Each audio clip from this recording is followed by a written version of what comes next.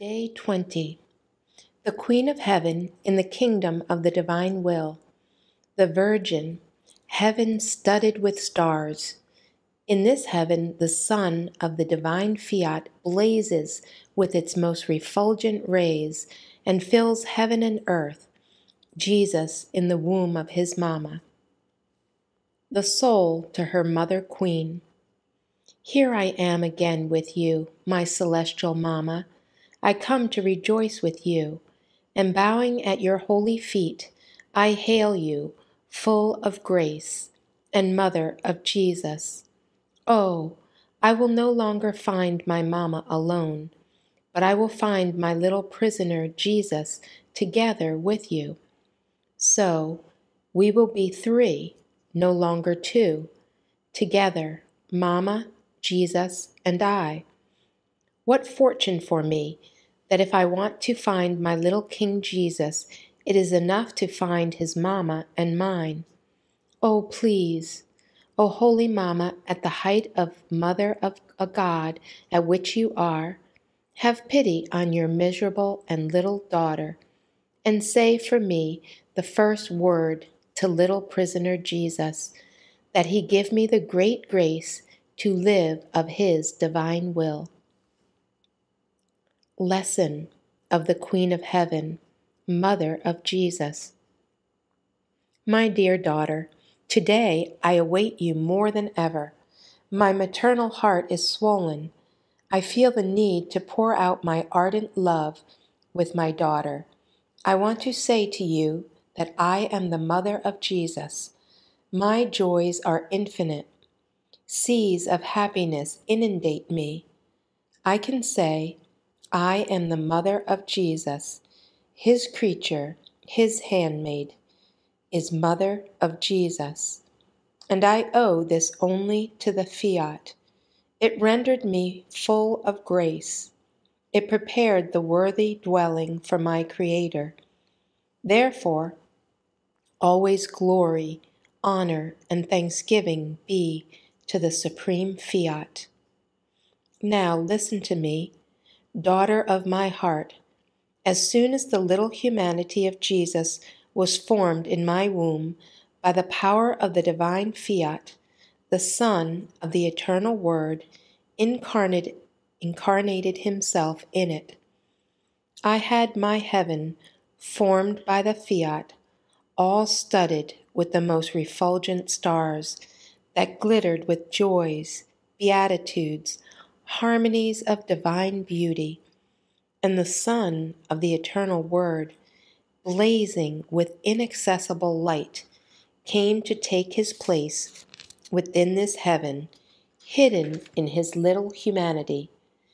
And since his little humanity could not contain him, the center of this sun remained in it but its light overflowed outside, and investing heaven and earth, it reached every heart. And with its pounding of light, it knocked at each creature, and with the voices of penetrating light, it said to them, My children, open to me, give me a place in your heart. I have descended from heaven to earth in order to form my life in each one of you. My mother is the center in which I reside, and all my children will be the circumference in which I want to form so many of my lives for as many as are my children. And the light knocked and knocked again, without ever ceasing, and the little humanity of Jesus moaned, cried, agonized, and within that light which reached into the hearts, he made flow his tears, his moans, and his pangs of love and of sorrow. Now you must know that a new life began for your mamma. I was aware of everything that my son was doing. I saw him devoured by seas of flames of love. Each one of his heartbeats, breaths, and pains were seas of love that he unleashed, enveloping all creatures to make them his own by force of love and of sorrow.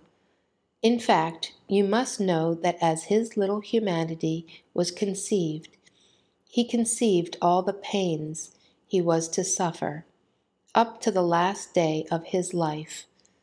He enclosed all souls within himself, because as God, no one could escape him. His immensity enclosed all creatures. His all seeingness made them all present to him. Therefore, my Jesus, my Son, felt the weight and the burden of all the sins of each creature. And I, your mamma, followed him in everything, and felt within my maternal heart the new generation of the pains of my Jesus, and the new generation of all the souls whom, as mother, together with Jesus, I was to generate to grace, to light, to the new life which my dear Son came to bring upon earth. My daughter, you must know that from the moment I was conceived, I loved you as mother. I felt you in my heart. I burned with love for you, but I did not understand why. The divine divine fiat made me do facts, but kept the secret hidden from me. But as he incarnated himself, he revealed the secret to me, and I comprehended the fecundity of my maternity, that I was to not only be mother of Jesus, but mother of all. And this maternity was to be formed on the stake of sorrow and of love. My daughter, how much I have loved you, and I love you.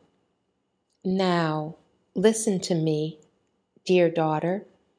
What extent one can reach when the divine will takes operating life in the creature and the human will lets it work without impeding its step.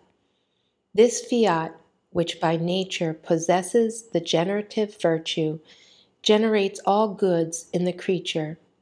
It renders her fecund, giving her maternity over all, over all goods, and over He who created her. Maternity says and means true love, heroic love, love that is content with dying to give life to the one it has generated. If this is not there, the word maternity is sterile, is empty, and is reduced to words, but does not exist with facts.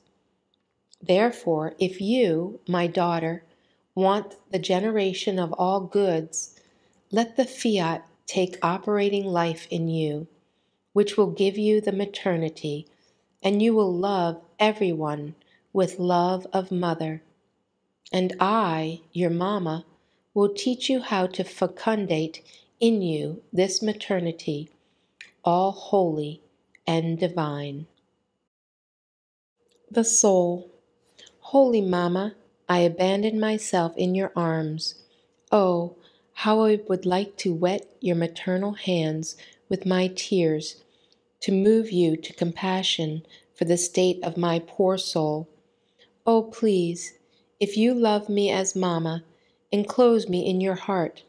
Let your love burn away my miseries, my weaknesses, and let the power of the divine fiat, which you possess as Queen, form its operating life in me in such a way that I may be able to say, My Mamma is all for me, and I am all for her. Little Sacrifice Today, to honor me, you will thank the Lord as many as three times in the name of all. For he incarnated himself and made himself prisoner in my womb, giving me the great honor of choosing me as his mother. Prayer Mama of Jesus, be my Mama and guide me on the path of the will of God.